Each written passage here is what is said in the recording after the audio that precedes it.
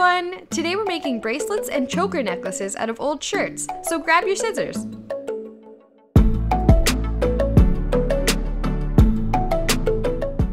For this tutorial, you will need a few colors of shirts, a clip or clipboard, a ruler, sharp scissors, some charms and beads, and something to mark your clothing with. First, we need to make our shirts into strings. Grab an old shirt, lay it down flat, and fold it in half. Cut off the bottom to make a straight edge. Now from that straight edge, measure 1.5 centimeter sections up the shirt. Then use these marks to draw lines across the shirt. Cut along these lines to make strips.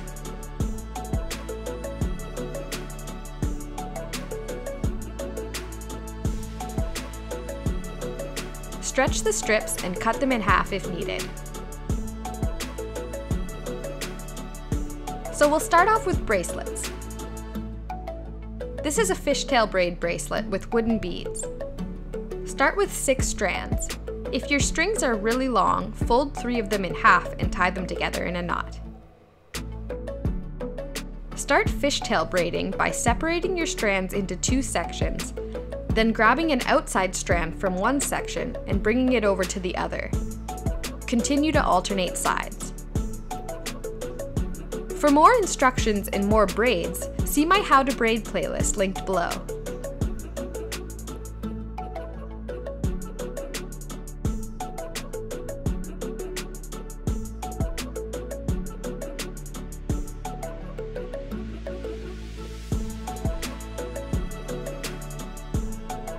Anyway, when you're about a third of the way around your wrist, add a bead in the center strand and continue braiding.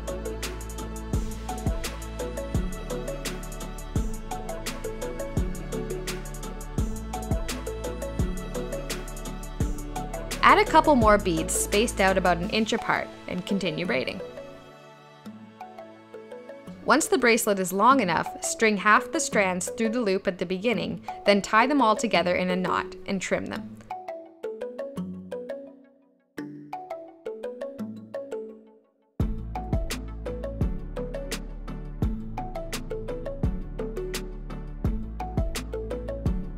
Feel free to mix colors as well. Here I'm doing a three colored three strand braid.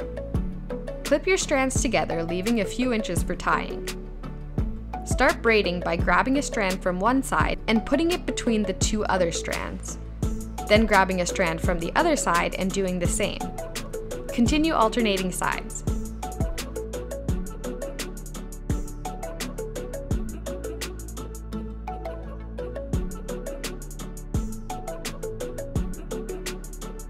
Once the braid is long enough, tie the ends together and trim.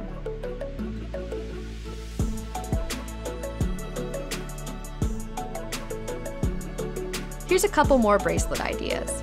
A double three strand braid bracelet with beads and a five strand bracelet with beads. Now to the chokers. We'll start with a black and white rope braid choker with a butterfly charm. Tie your strands together, leaving at least a few inches at the end. For the chokers, you'll need to leave long ends to tie around the neck.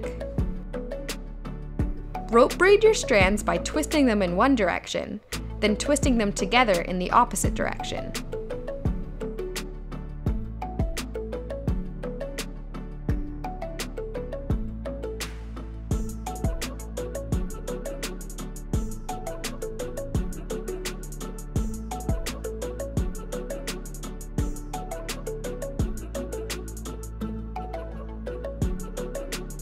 When you get about halfway around your neck, add a charm and then continue braiding.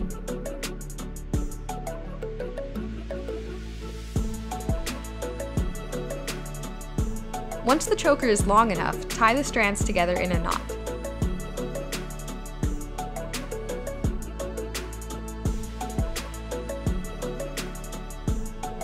Then I did a fishtail braided choker with beads, just like the first bracelet.